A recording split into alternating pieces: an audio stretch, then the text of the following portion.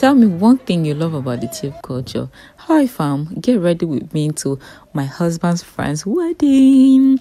Okay, so I headed to the bathroom. I had to take a quick shower and get ready. Look at me grooving now because it's been long I've been outside. Okay, so guys, quick one. I just changed my cream and I don't know if you have used this cream before. If I've used it, please drop your review in the comment section. And I headed out to go and pick my dress. See my tailor is a lifesaver.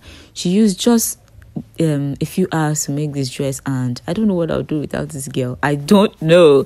Okay we got to the location. I was already hyped up because white notes.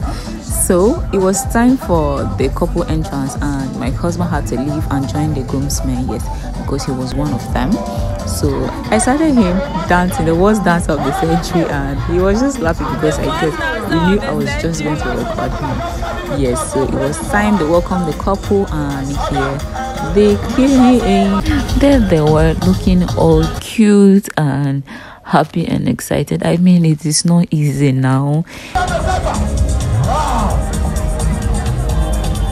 Marriage is a beautiful thing and